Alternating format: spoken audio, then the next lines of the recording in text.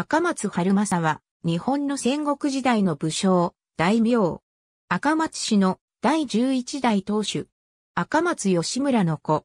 播磨、備前、美政の守護。播磨沖塩上城主。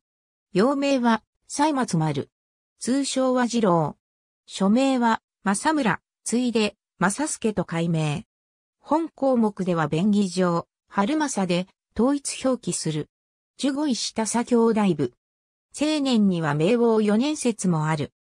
長福さん、昭安寺石に残る赤松春正の墓、春正の破壊し永正17年、守護代の浦上氏との対立に敗れ、強制隠居へ追いやられた父の吉村から、わずか8歳で家督を譲られる。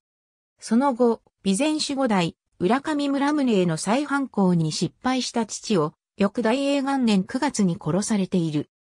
山梨の侵攻に対抗するため一時的に村宗と手を結んだこともあるが、山梨の脅威が去ると再び争い、一時は居城の沖塩城を追われ、美政の新城山城へ避難を余儀なくされたこともある。協力4年、細川春元と対立する官僚、細川高国を要した浦上村宗が、摂津国へ侵攻すると、村宗たちのご詰めとして参戦したが、実は、堺久保の足利義綱へ、密かに人質を送って、裏切りを確約していた。6月4日、新樹寺に布陣していた春政が、晴れ元方に内をして、高国、村宗軍を背後から攻撃。晴れ元方からも攻撃された高国、村宗軍は壊滅し、村宗を戦死させ、高国も自害へと追い込んだ。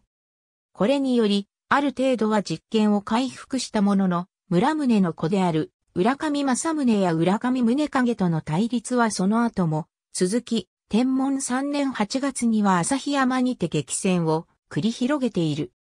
さらに、天文6年12月に始まる出雲国の天子戦、旧に侵攻により対立していた浦上兄弟は共順するも、春正の両国は混乱し、子孫の宇野村来が願える。天文7年7月には、高砂五条の梶原氏を頼るも、寝返った正治即職、明石正風らの攻撃を受け、淡路国軍家の田村のと守のもとへ逃亡する。天文8年4月8日、阿波細川氏の援助を取り付けた春正は、明石に上陸して、枝吉城を攻略したが、最後まで、天子勢に抵抗していた三木城の別所氏も、内通しているとの噂が流れ、11月25日に、堺の海江寺へと落ち延びた。天文9年から翌年にかけての天子氏の秋国遠征失敗によって、播磨から天子氏が撤退。両国の危機は去ったとはいえ、赤松氏の権威失墜までは止まらなかった。なお、将軍、足利義晴より、晴れの字を賜り、春政と改名したのは、この時期である。天文21年、天子春久が幕府から備前、美政守護職に任ぜられたことで、春政は守護としての二国の権限を喪失する。残る針までの主権も、浦上氏に奪われ続ける中、永禄元年8月には、小寺聖職が、着手、義助を擁立するクーデタが起き、娘婿の赤松正秀の居城辰野城に逃れた。これにより赤松氏総領家は分裂してしまい、守護大名赤松家は領主層から衰退される一地方権力へと凋落していったのである。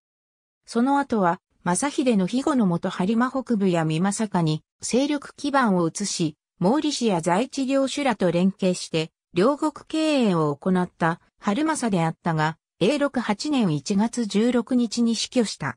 墓所は、姫路市の昭安寺石に存在する。春政時代。ありがとうございます。